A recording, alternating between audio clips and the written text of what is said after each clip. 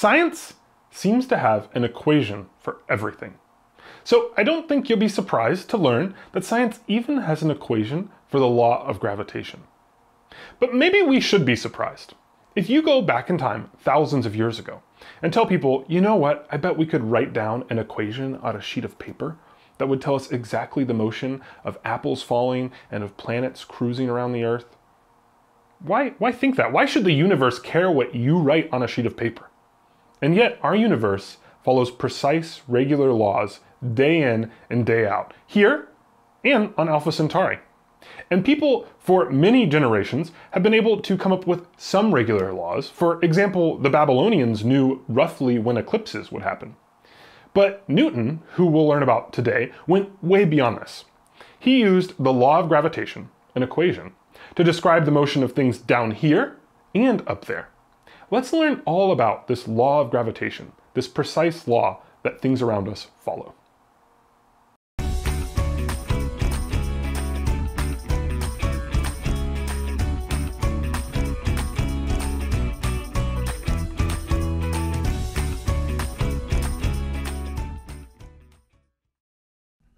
Let's begin by reviewing our lesson objectives.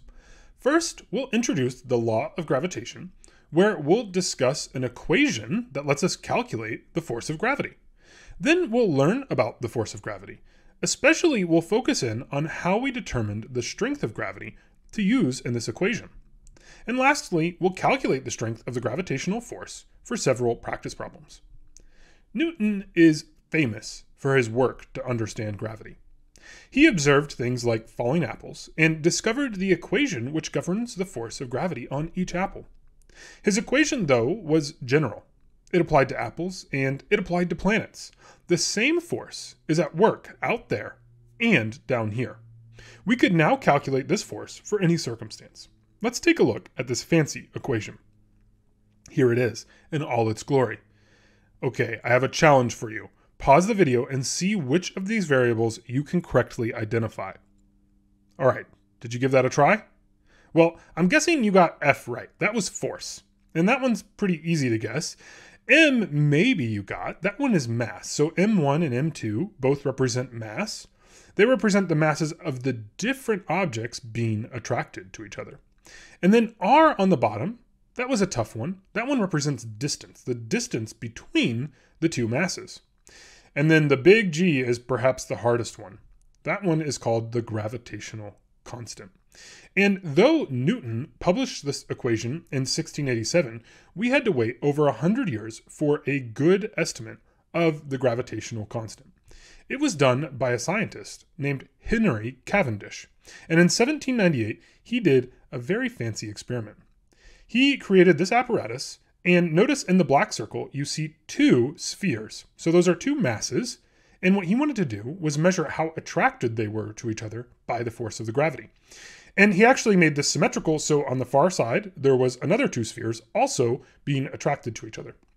This caused the whole contraption to twist up at the top. And based on how much it twisted and the masses, he was able to figure out the gravitational constant. It turns out it's 6.67 times 10 to the minus 11th newtons meters squared per kilogram squared. You got that? That is a lot. Importantly, the units here for our gravitational constant tell us the units we must use in our equation.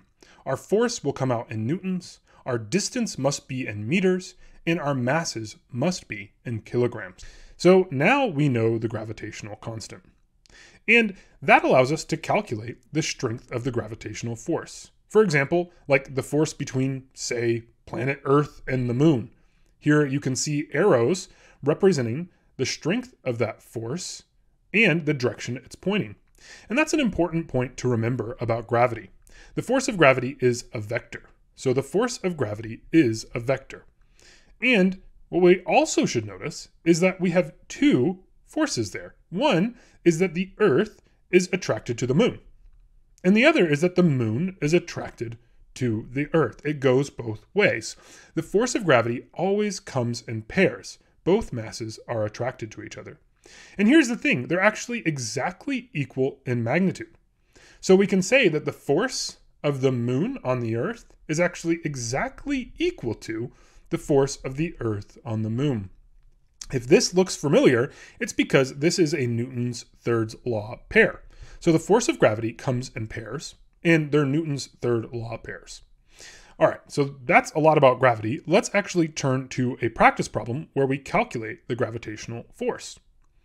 This says, what is the gravitational force of the Earth on the moon?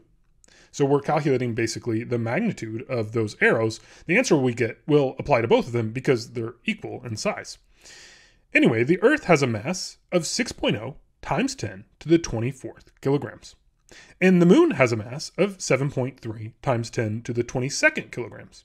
And on average, at least, this changes some, they are spread apart by 384,000 kilometers.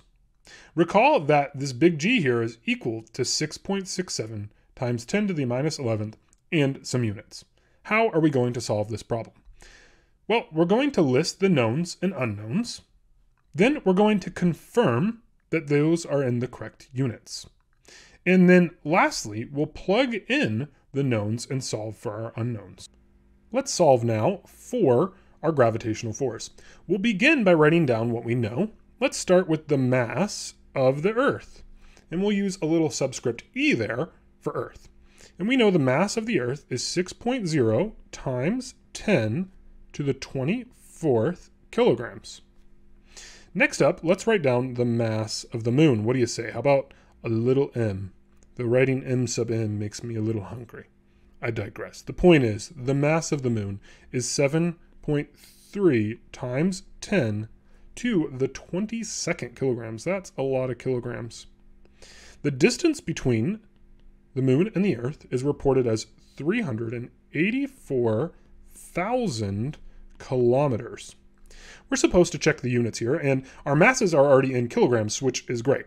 But our distance is in kilometers. So we need to convert that to meters. So we're going to multiply here by 1,000 meters. So meters goes up top, and we got a 1,000 of them, and then one kilometer on the bottom.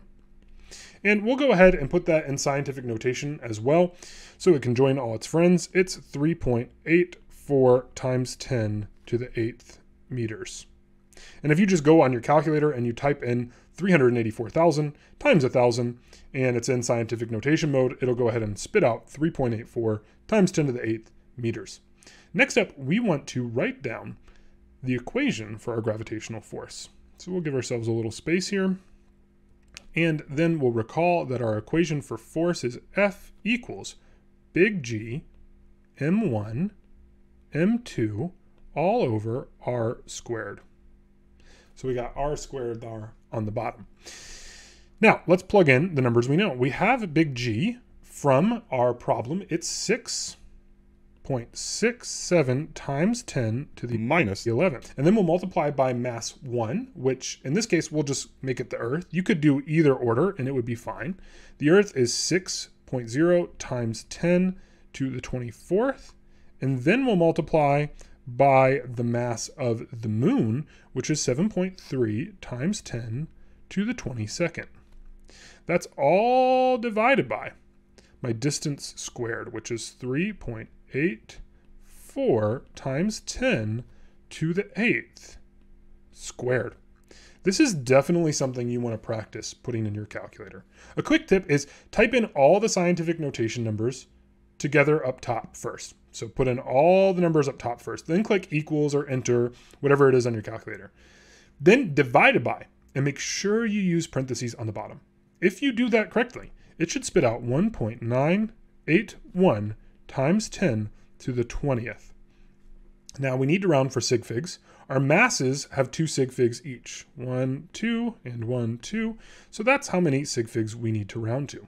We'll keep the first two digits here, which is the 1 and the 9 and we'll get 2.0 because we round up since that next number there is an 8 times 10 to the 20, and then that's Newton. So that's the gravitational force between the moon and the earth, which is quite a large force.